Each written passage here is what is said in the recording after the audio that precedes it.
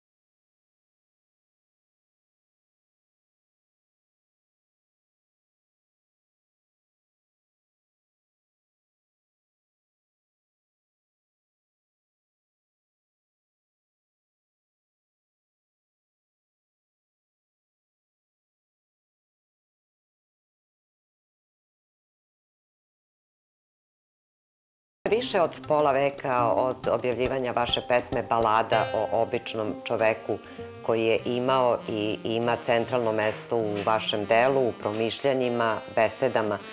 Gde je danas e, taj naš običan čovek? Ja mislim da ni jedan čovek nije običan, da svaki čovek ima nešto specifično i dragoceno svoje. Samo je pitanje da li uvek e, može da ga otkrije i sam za sebe i za, i za druge. Ja vrlo volim recimo da gledam na televiziji Animal Planetu, jer ona me stalno učvršćuje u saznanju da na svetu ništa nije slučajno. Ni boja nekog pera neke južnoameričke ptice, ni to čime se ona hrani, ni kako lovi i tako dalje i tako dalje. Prema tome, pogotovo ni jedan čovek nije slučajan mora da ima neku, neku veliku svrhu, samo je problem da se ta e, svrha otkrije i pokaže. Naš običan e, čovek e, je u naravno specifičnim okolnostima, u njima živi, e, u njima se razvija te specifične okolnosti, podrazumevaju jedno latentno i tendencijozno smanjivanje platformi za obrazovanje, za kulturno uzdizanje, da li je taj čovek učinio sve što je u njegovoj moći da e, svoja osnovna prava zaštiti i sačuva? Bojim se da je taj naš čovek odavno prepušten samome sebi. Znamo na šta liči naša prosveta, znamo koliko godina su zatvoreni naši glavni muzeji ovde u Beogradu, što znači da više od deset generacija nije imalo prilike da vidi slike i skulpture koje se nalaze u fondovima naših muzeja. Ne znam kako ćemo isplivati iz svega toga. Kultura je negde na začelju, na samoj margini, već i sama po sebi, a pogotovo u okolnostima u kojima se mi nalazimo i u kojoj sve što postoji ima prednost u odnosu na kulturi. Meni se često dogodi da postavim sebi jedno neobično pitanje da li je neko danas recimo otvorio knjigu pesama Vojislava Ilića i pročitao jednu njegovu pesmu. Najverovatnije da nije.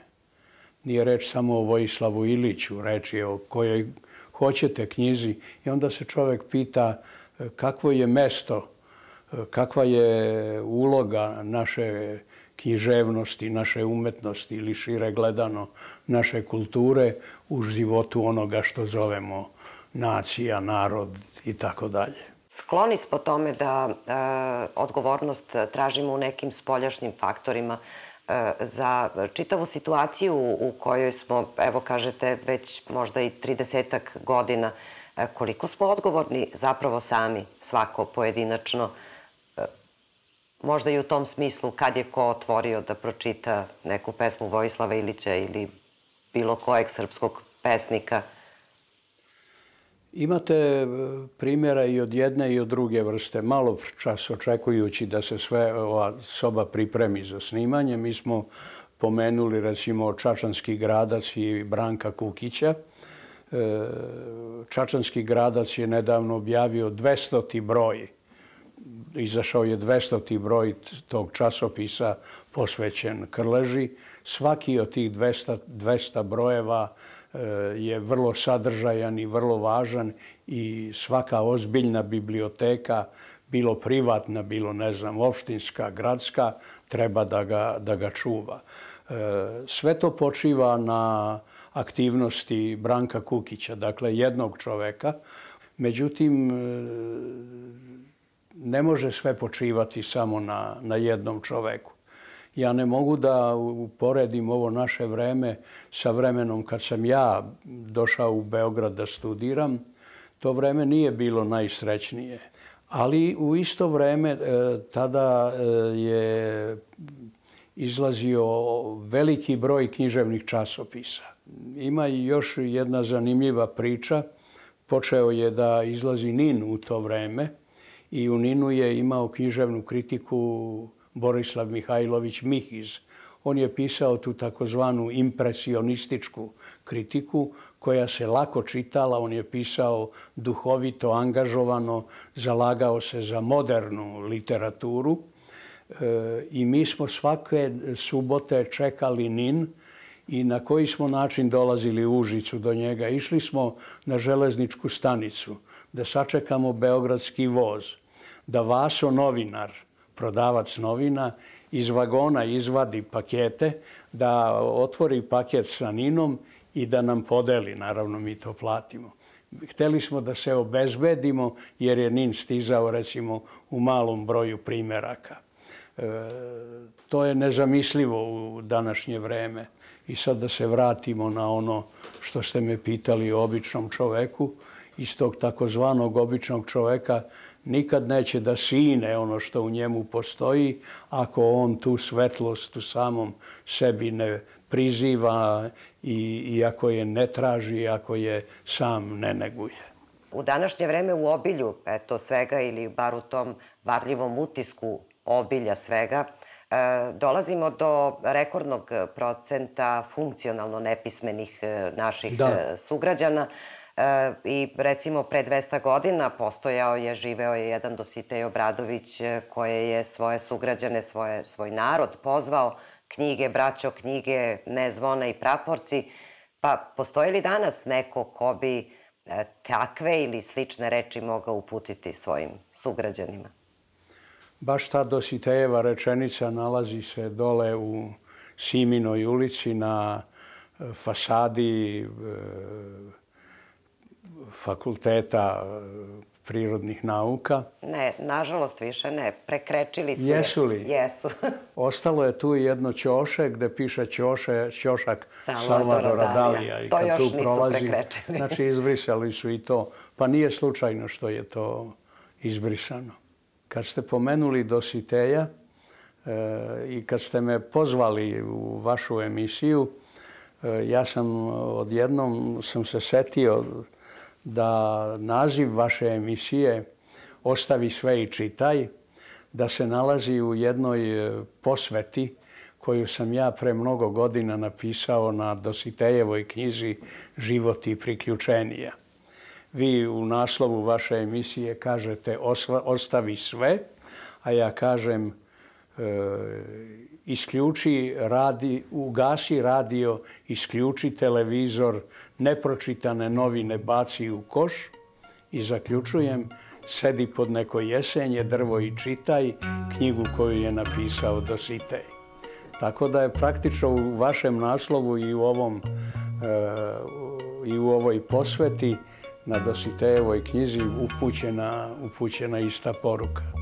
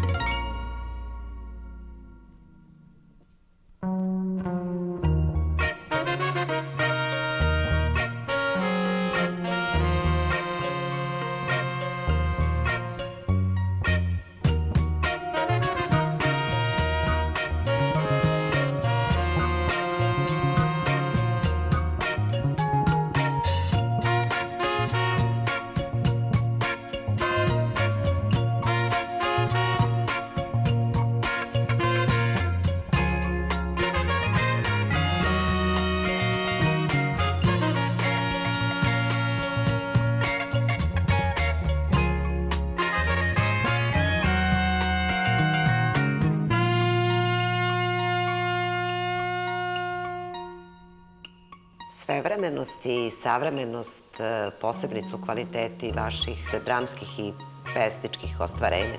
Šta je u osnovi vašeg pogleda na svet i čoveka u njemu tih davnih 60-ih, 70-ih i danas? Ja ne bežim, ne izbegavam suočavanje sa svetom u kome živim, e, tako da sam o tom, u tim suočavanjima e, napravio nekoliko, nekoliko knjiga e, u koje, koje se sastoji od različitih e, književnih ili publicističkih formi, od intervjua do beseda, do nekih in memorijama i tako dalje, e, kraćih članaka ili eseja. Kad su intervjui u pitanju, ja nisam izbegavao odgovore na najosjetljivija i najdramatičnija politička pitanja. Ja sam tu govorio u, tom, u toj seriji knjiga, e, govorio sam i o društvenim, društvenom životu, o političkim promenama, o tim nesretnim ratovima u koje smo tako nerazumno uleteli i koji su nas e, preskupo koštali i kojih se na neki način još nismo oslobodili. Kad kažem da se nismo oslobodili, imam na umu jednu rečenicu Tomasa Sternsa Eliota koja me je užasnula, a užasnula me je zato što se pokazuje, pokazuje tačnom. On je e, rekao da se nijedan ozbiljan građanski rat praktično nikada ne završi. I ono što se dešavalo na tim takozvanim bojnim poljima, kada su ljudi ubijali jedni druge, vidimo da se nastavlja i danas kroz e, polemike političara iz bivših jugoslovenskih republika. Dakle, nisam bežao od toga, ali sam se trudio da od toga ne gubi moja poezija i uopšte moja literatura. E, tako da sam uspeo da završim tu pesničku trilogiju Planeta Dunav, e, koja se sada nastavlja u novoj knjizi koja ima naslov Riba sa dva repa. A Riba sa dva repa je jedna kafana koju sam smestio na ušću Save u Dunav. A kafana je inače zgodno mesto zato što je najprirodnije da u kafanu može da uđe svako i što u, kafanu, u kafani može da se govori o svim mogućim temama. Niko čoveka ne laže kao sam sebe. Jedna je od opaske iz čuvenog komada Čudo u Šarganu i ukazuje na tu večnu ljudsku potrebu da svet e, oboji onako kako to njemu odgovara. E, šta bi onda zapravo trebalo da bude misija ili zadatak književnosti i umetnosti uopšte koja je namenjena tom i takvom čoveku? Na to pitanje vam je već odgovorio Jovan Sterija Popović, koji je rekao da narodu treba govoriti istinu, da sve od toga zavisi. E, svake godine ovde u Srpskoj akademiji nauka i umetnosti obeležava se dan akademije i ja tokom nekoliko godina imam rubriku na toj svečanosti. Rubrika se zove Zaveštanja. Ja biram tekstove iz, e, od starih akademika, Eh, ali se trudim da to budu tekstovi koji su aktuelni i danas. Recimo, ove godine eh, ja sam izabrao tekstove Sterije, Jovana Cvića, eh, Slobodana Jovanovića, Svetozara Radojčića, Ive Andrića i još nekih, Isidore Sekulić. Svi ti tekstovi koji su, koje su čitali glumci Gojko Šantić i Kundačina, e, delovali su kao da su ti naši akademici koji su odavno mrtvi, da su gledali sinoć televiziju i da su te tekstove napisali kao reakciju na ono što su videli na našim TV ekranima.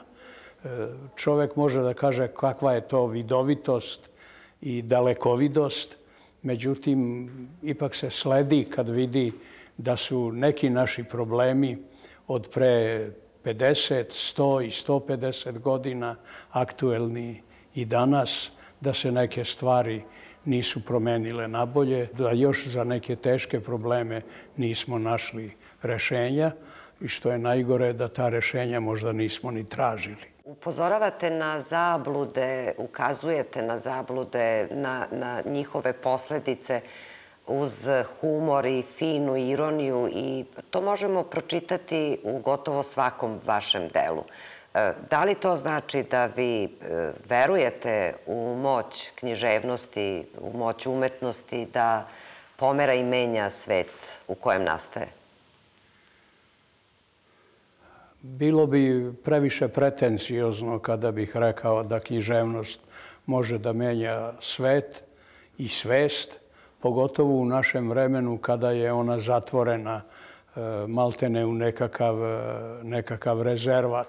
Pojavile su se bezbrojne televizije na kojima od obrazovanja nema ni O, od kulture nema ni K, od prosvete nema ni P. E, i na kojima su najgledaniji ti reality programi i oni programi koji na reality programe liče. S druge strane, u našoj štampi su najčitaniji i ti e, najjeftiniji listovi. E, koji se bave temama za koje pretpostavljaju da će najviše interesovati najveći broj ljudi. I što je najstrašnije, i to sam negde, čini mi se, već i rekao, od naroda se očekuje da što više liči na ono što u tim listovima čita i na ono što na tim takvim televizijama gleda.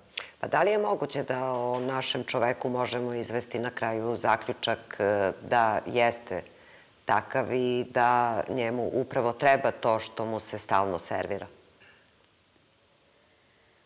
Rousseau je u svoje vreme rekao jednu stvar u koju nisam verovao, ali koja mi deluje, njegovo, njegovo saznanje, njegova rečenica, deluje mu mi sve uverljivije. On je rekao e, da svaka vlada od naroda može da napravi ono što njoj treba. Bojim se da u tome ima mnogo istine i da tu istin, dokaze za tu istinu možemo da vidimo svaki dan i na svojoj sobstvenoj koži.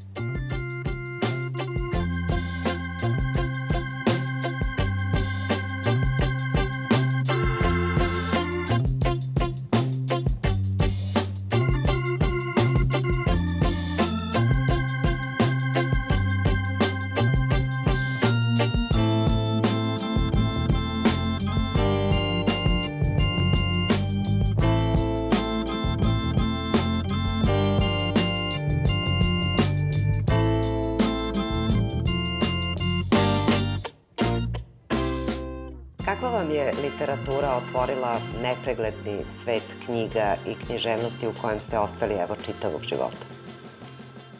Pa pre svega ja život ne mogu da zamislim bez knjige. Drugo, mene ne zanima samo književnost.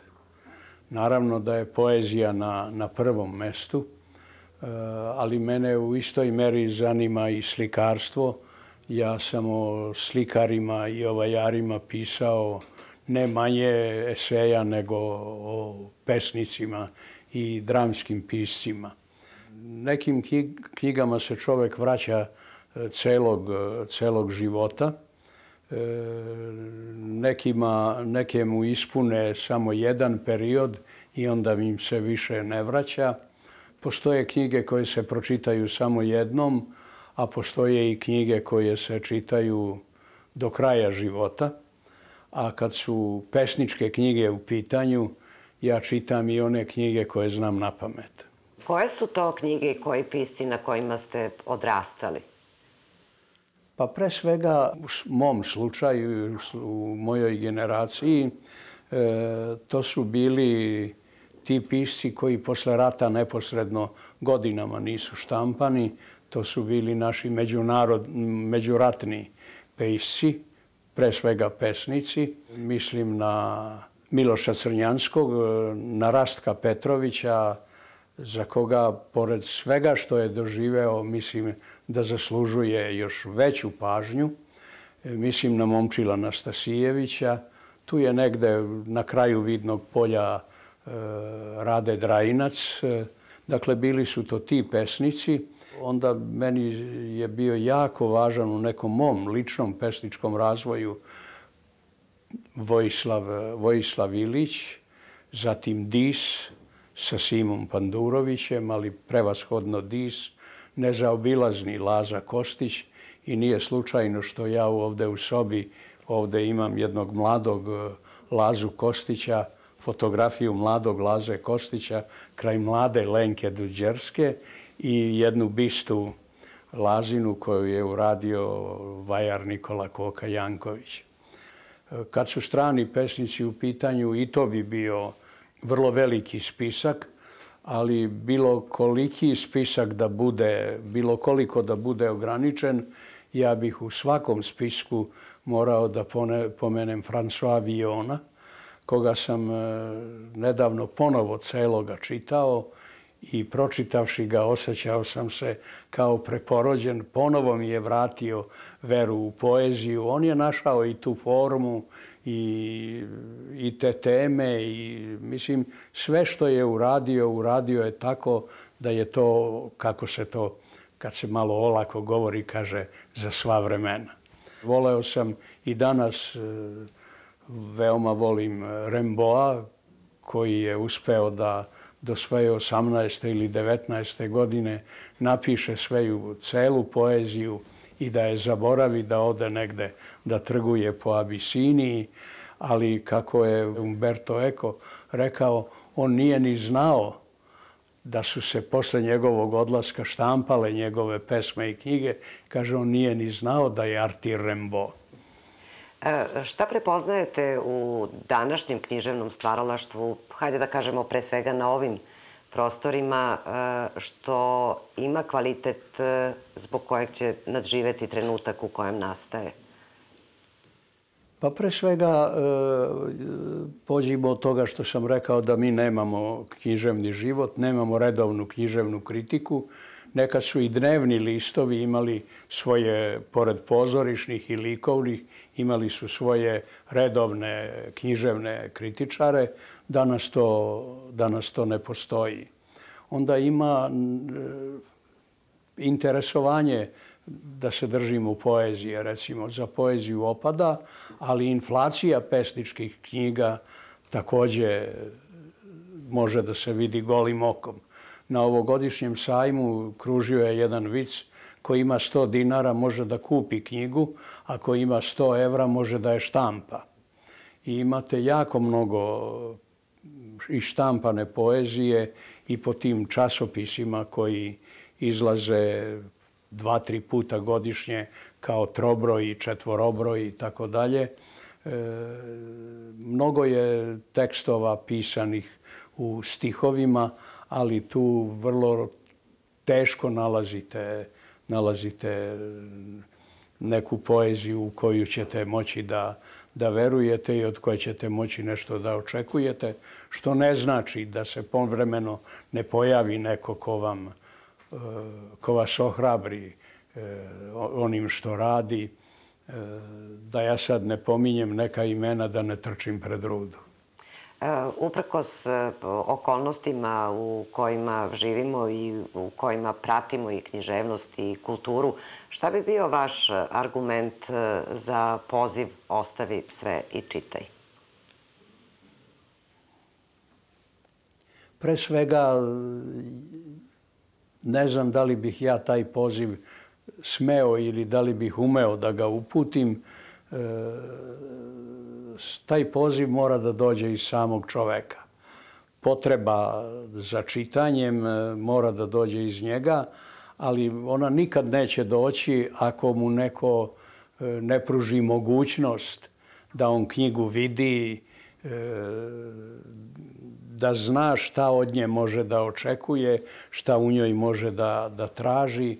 Vraćamo se na početak našeg razgovora razgovora e, kada smo zaključili, nadam se oboje, da je današnji čitalac, današnji čovek u tome prepušten samome sebi. I tu je velika odgovornost na svakom kulturnom radniku, da upotrebim i taj termin, i na svakome od nas koji se na svoj način bavi, da pomogne ljudima, da knjiga nije tu samo da bude za nečiju slavu ili za nečiji ukras ili čak za nečiju zaradu, nego knjiga postoji iz nekih mnogo bitnijih potreba i razloga.